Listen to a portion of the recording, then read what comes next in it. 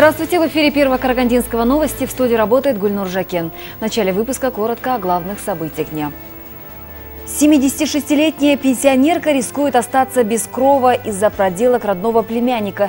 Аферисты умудряются завладеть жильем и оформить договоры опеки. Заместитель Акима области Асылбек Дюсюбаев с очередным рабочим визитом побывал в Бухар-Жирауском районе. Управление по чрезвычайным ситуациям призывает всех жителей области к соблюдению мер противопожарной безопасности.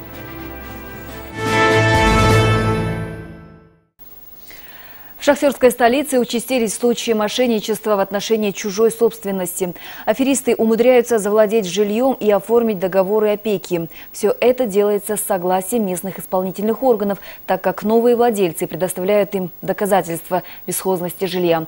К нам в редакцию обратилась одна из жертв такой истории.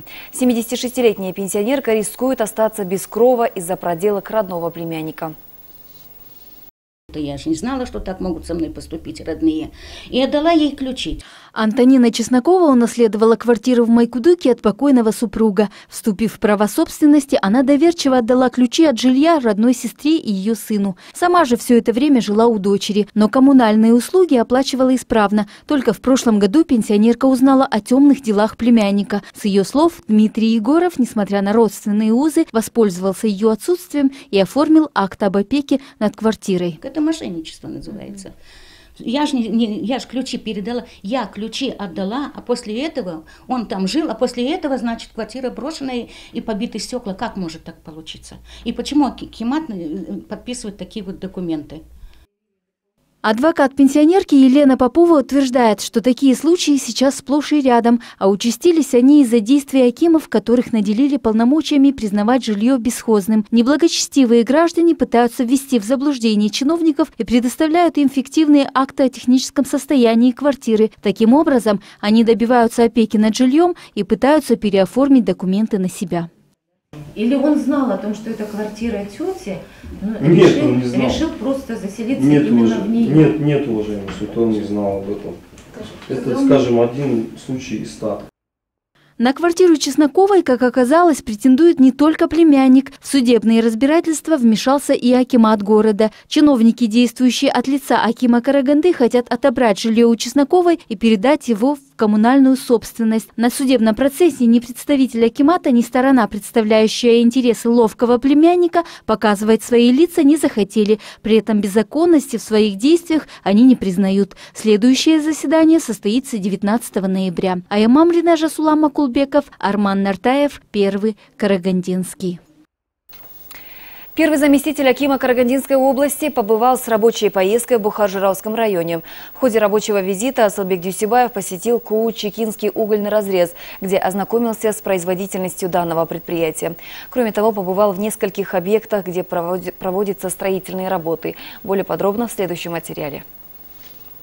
Производственная мощность угольного разреза в Кучек составляет 1 миллион тонн угля в год. За 2015 год предприятием добыто больше 500 тысяч тонн угля. Выполнение годового плана оправдало все расчеты предприятия. Месторождение на сегодня обеспечивает работой около 600 человек.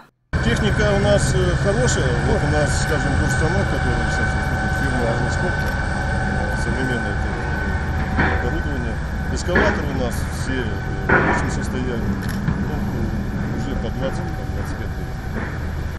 Затем Аслбек Тюсебаев ознакомился с ходом строительства сельской врачебной амбулатории, строительство которого начались в июне 2015 года в рамках программы «Дорожная карта занятости 2020». Амбулатория рассчитана на 25 посещений в день, и в штате работают квалифицированные врачи с разными специальностями. Полное окончание данного строительства планируется к эксплуатации в начале следующего года. По программе «Саламаты Казахстан» предусматривается 220 222,6 миллионов тенге. Это э, по исполнению бюджета. По итогам 10 месяцев текущего года доходная часть бюджета исполнена на 86,4%, году при плановом выполнении 83,3%.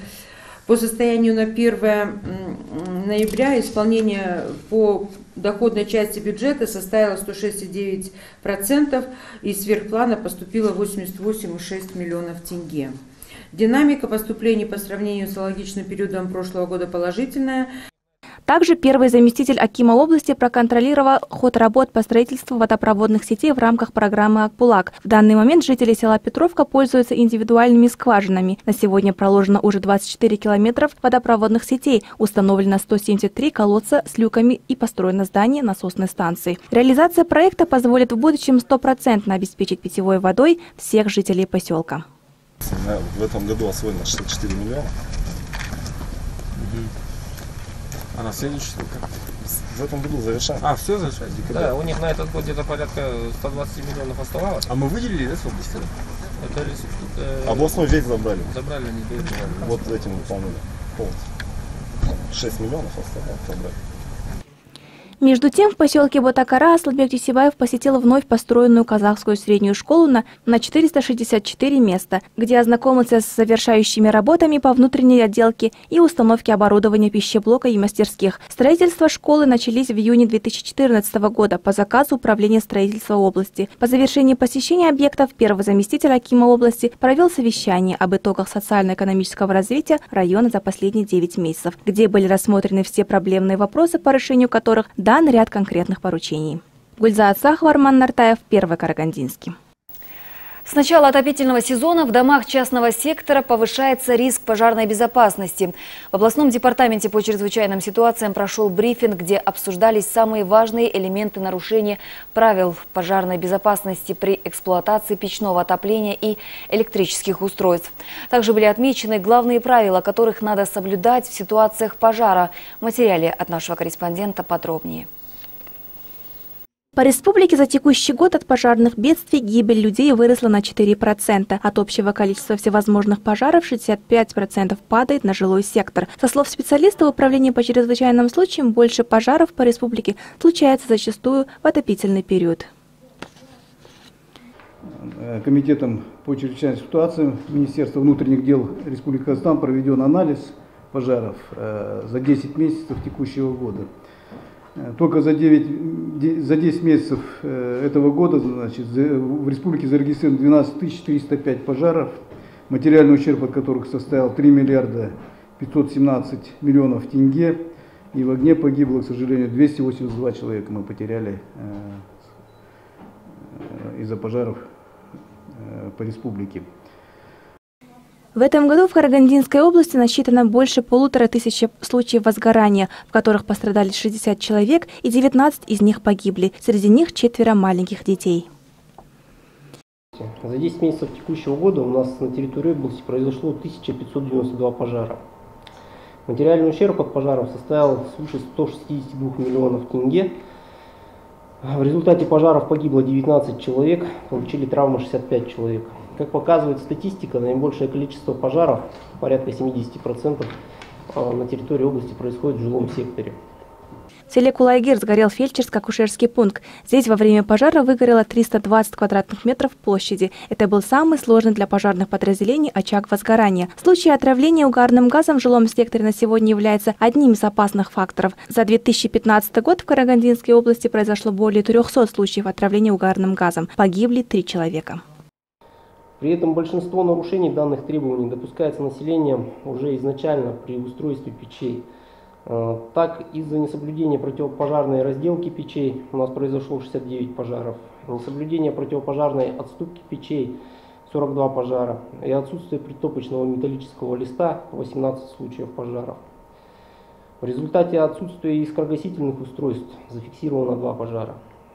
Среди причин, приведших к пожару при эксплуатации печного отопления, в основном фигурирует это перекаливание печей, складирование возле печей дров и других горючих материалов, сушка одежды. Управление по чрезвычайным ситуациям проводит агитационные работы в учебных заведениях по информированию необходимых действий во время пожара. Встречи с обществом нацелены призвать всех жителей области к соблюдению мер противопожарной безопасности. Гульза Ацахова, Руслан Макулбеков, Арман Нартаев, Первый Карагандинский. Спонсор показа Galaxy Group, производитель продукции торговых марок Алюгал, Галвин, Херкюль. Галвин. Оконные системы А-класса. Долговечность 60 лет. Галвин. Морозостойкий, надежный, прочный. Для тех, кто ценит качество.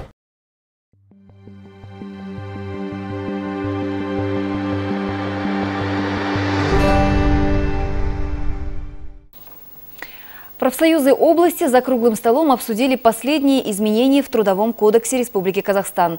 В новом законодательстве рассматриваются вопросы об отношениях работодателя с рабочим. На данном мероприятии, организованном профсоюзом, принимали участие ученые, члены правительственных и неправительственных организаций и общественные активисты. Федерация профсоюзов новый закон было предложено больше ста изменений. По новому закону работодатель обязан заключить трудовой договор с рабочим сроком не менее двух лет. Если организация не будет перечислять положенные пенсионные взносы рабочему, то им грозит штраф в виде 50% от общей суммы пенсионных отчислений. Данное мероприятие э, посвящено выходу в свет э, в ближайшем будущем нового трудового кодекса. И мы будем рассматривать такие моменты, как либерализация трудовых отношений. Это 83-й шаг 100 шагов пяти институциональных реформ нашего президента. И будем рассматривать как мировой опыт, так и опыт практики в нашей стране. Еще об одном новшестве. Работа сотрудников будет измеряться качеством выполненной работы. Со слов министра труда и социальной защиты Тамары Дуйсеновой, по Караганде отмечается рост по невыплате заработной платы. Если организация своевременно не будет платить, против них будут предприниматься меры наказания. Договор гласит, что рабочие имеют право выйти на митинг в защиту своих прав. В данное время новый закон отправлен на рассмотрение правительству. Новое законодательство особенно удобно для рабочих. Теперь они могут согласно закону защищать свои права, так как договор гарантирует защиту прав рабочих. По статистике в Казахстане работают 7 миллионов 200 тысяч человек. Из них 63% наемные рабочие. В будущем отношение между работодателем и рабочим будет строго контролироваться, согласно новому трудовому кодексу. Диана Рамазанова, Толиген Рашитов, Арман Нартаев, Первый Карагандинский. Продолжаем выпуск. Активисты нашего города презентовали новую книгу «Карагандинская область в годы Великой Отечественной войны 1941-1945 годы». В сборник вошли 310 документов, которые были собраны не только по окрестностям города, но далеко за его пределами.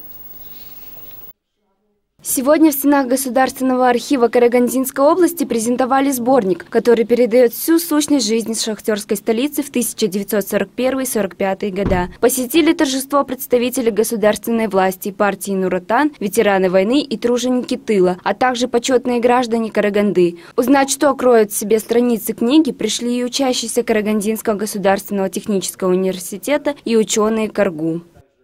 Данный сборник подготовлен архивистами Государственного архива Карагандинской области и учеными э, Карагандинского государственного университета имени Букетова. Сборник состоит из э, более э, из 310 документов за 1941-1945 годы, выявленных в областном архиве и отражающих вклад карагандинцев в дело победы на фронтах и в тылу.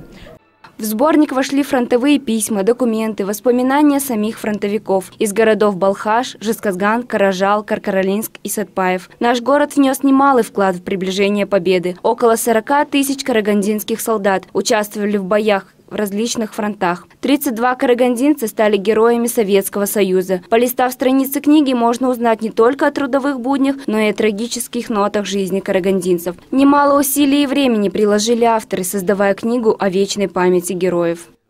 Э, за это время было изучено э, более 50 архивных фондов, из них вот 50 э, Карагандинского областного архива. В наш сборник вошли также материалы вот алматинских и московских архивов. Сборник документов будет помощником для учащихся и педагогов, сохраняя историческую память о поколении победителей, будет способствовать и укреплению патриотизма молодежи Казахстана. Асель Сазамбаева, Исламбек Оспан, Арман Нартаев, Первый Карагандинский. Врачи Казахстана предлагают ввести синтетический наркотик метадон в качестве лекарства против наркомании. С их слов, такую практику ввели уже во всех передовых странах мира. Для обсуждения данного вопроса они провели общественные слушания в шести городах страны. Сейчас агитационная группа добралась и до шахтерской столицы. Ежегодно в стране от пристрастия к наркотикам и ВИЧ-инфекции умирают около 7 тысяч человек. Сейчас в области зарегистрировано более 4 тысяч ВИЧ-инфицированных, и эти цифры, к сожалению, растут. Врачи отмечают, что метадон помогает безболезненно уменьшать пагубную страсть к наркотикам и вести правильный образ жизни. Метадон – это синтетический опиоид. Он как является антагонистом э, героина.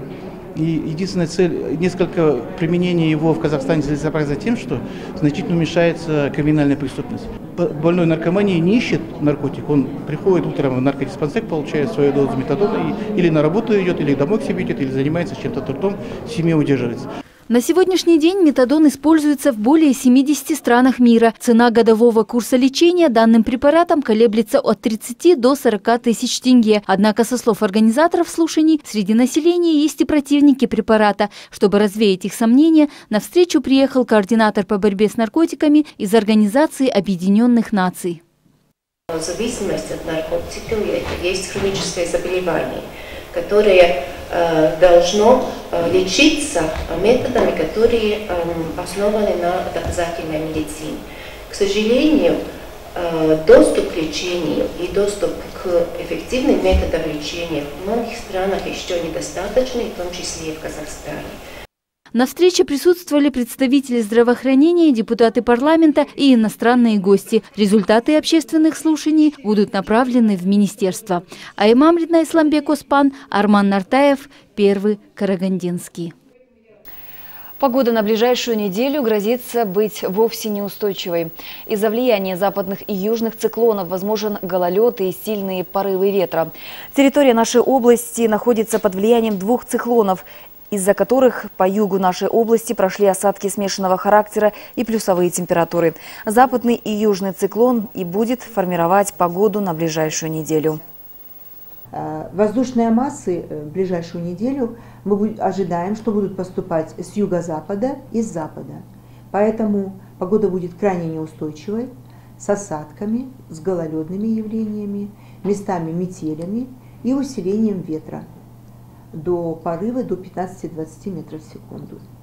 А, низких температур, вторжений холодных воздушных масс на ближайшую неделю мы не ожидаем. К другим новостям. Школьник из Караганды занял призовые места на международной олимпиаде в Анталии. Ученик 4 класса гимназии номер 3 Ернар Шалгимбай проявил свои знания в математике, заняв первое место и второе место по английскому языку. Гордо и уверенными шагами с медалями на груди вошел в родную школу Ернар Шалгамбай. Ученик 4 класса гимназии номер 3 прославил шахтерскую столицу на международной олимпиаде. Одноклассники и учителя встретили победителя бурными аплодисментами. Школьные наставники были безгранично рады и горды за своего ученика. Желаем, чтобы было светлое будущее. Мы все рады. Но наша радость наполняет наши души. Все-все-все мы рады. Мы же сколько времени ждали его. И вот сегодня он пришел, мы его поздравили, весь класс поздравил. Все ребята рады. Вот, Айналайн. Дальше будет, чтобы светлая дорога у тебя была. Вот. В Анталию отправились ученики из 15 школ Казахстана. Родители Ернара отправили запрос на участие в Олимпиаде. Как оказалось, школьник силен в английском языке и в математике. Также ему нравятся такие предметы, как русский язык и изобразительное искусство. Математика в будущем я хочу стать математиком. Хочу на всех олимпиадах по этому предмету занимать первые места. Большое спасибо моим одноклассникам за то, что они меня так встретили. Еще в первом классе учитель Ернара заметила, что мальчик силен в математике. Во втором классе посоветовала родителям отправить ученика на Олимпиаду. Для Ернара нет ничего сложного в этом предмете. Лариса Хусейнова, Лжас Габасов, Арман Нартаев, Первый Карагандинский. В завершении выпуска еще об одном. Сегодня в клинике «Гиппократ» прошел день открытых дверей. Карагандинцы получили бесплатную консультацию у врачей-эндокринологов. Это не первая и не последняя акция добра от клиники «Гиппократ». Сегодня все желающие смогли пройти бесплатную консультацию у эндокринолога. С 9 утра и до 4 вечера два специалиста принимали пациентов, выслушивали жалобы, давали рекомендации, выписывали рецепты, назначали лечение. На прием приходили те, кто имеет проблемы с щитовидной железой, с лишним весом, сахарным диабетом. Специалисты клиники Гиппократ советуют ни в коем случае не откладывать поход к врачам, если имеются следующие симптомы.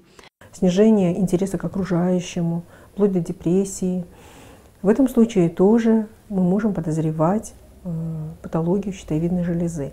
Но э, в любом случае, если появляются какие-либо отклонения в состоянии, в общем самочувствии человека, э, обращение к врачу не, не лишнее – Помимо бесплатной консультации, пациенты в этот день получили 20% скидку на дальнейшее обследование. Это не последний день открытых дверей в клинике Гиппократ. Врачи различных областей будут конец этого года и весь следующий проводить подобные мероприятия для горожан. В 2015 году и в 2016 весь год мы будем продолжать эти э, дни открытых дверей проводить.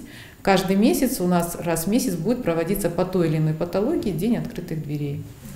Следующем месяце в клинике Гиппократ вы сможете получить бесплатную консультацию у врачей-аллергологов. 15 декабря с 9 утра и до 4 вечера все желающие смогут получить рекомендации от специалистов клиники Гиппократ. Амина Самакова, Толиген Рашитов, Арман Нартаев, Первый Карагандинский. О новостях на сегодня все. Благодарю за внимание. Если у вас есть интересная информация, звоните нам по телефону 42 06 49. Всего доброго.